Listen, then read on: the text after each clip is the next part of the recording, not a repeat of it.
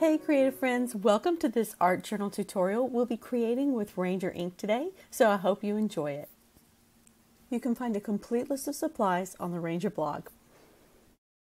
So I'm starting with archival ink and Dina Wakley's For the Love of Circles text stamp on watercolor paper. And I'm just stamping that around the paper just to create some visual texture. Now I have not gessoed this paper because today I'm going for some watercolor effects. For the next step, we'll use Dina's Best Heart stencil and Distress Glaze. Now what we're doing is creating a resist with the Distress Glaze so we can come back with our scribble sticks and use them like watercolor. So I'll take my ink blending tool, add some Distress Glaze to it, wipe a little bit off on my sheet, and then apply it to the paper.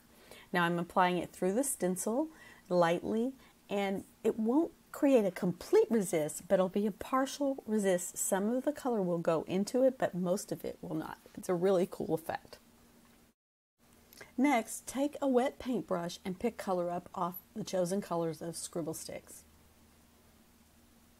I'm using a mix of blues. I also have cheddar and marine. And with those colors, we'll create a gradient working from dark to light toward the center. I'm trying to keep that white center area of the paper. I want it to be nice and bright and white, but I want to also bring that color down. So dark to light is a great way to do that and sort of fade it into the middle.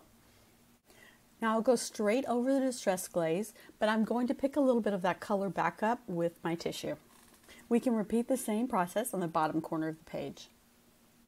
Now you might notice I'm picking up color from a different area besides the scribble sticks you see, and that's because I put all of my scribble sticks into a watercolor palette, little chunks of them so I can use them like watercolors. It's very convenient and very fun to do.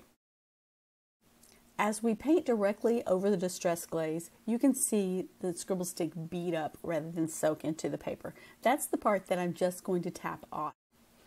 I'll just use a tissue and pick that straight up off the distress glaze. The distress glaze will stay, but the scribble stick will lift off. So you can see I have some color where the distress glaze is, but there's definitely a heart shape there.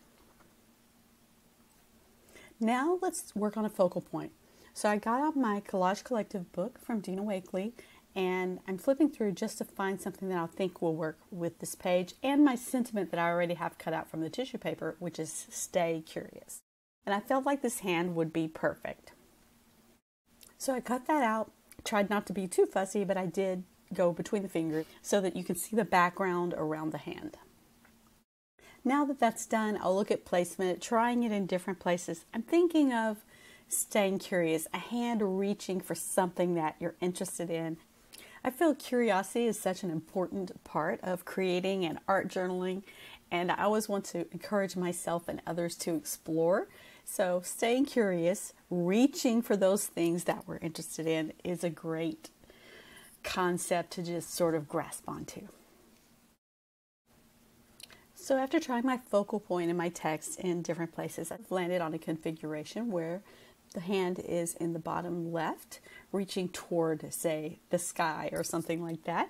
And I just needed to trim off the edge so that it would fit on my paper. I chose one of the thick pages in the Collage Collective book, so I want to use ultra thick gel medium to place it on my page to avoid wrinkling and curling up and all of that kind of thing.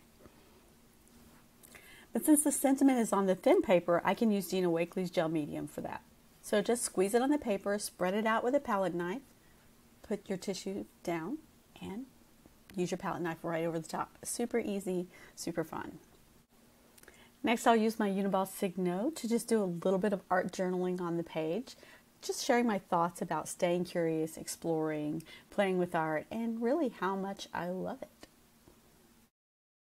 And of course, I almost always have to have splattering on my page. I just love that so much. So I scribbled my scribble stick onto my palette and picked some of that up with my wet paintbrush, added some water, nice and loose and juicy, and just splattered it right onto my page. Yep, so fun! Yes! And now I'll wrap up this journal page by adding a little bit of shadow around the hand focal point. I'm using my Stabilo All pencil and then I will wet it a little bit just to activate it and make it move and add a nice shadow. And that's it. We are finished. We've created a fun and easy journal page, so I hope you'll try it. Check out the tutorial on Ranger blog. Thanks again for joining me. I'll see you soon.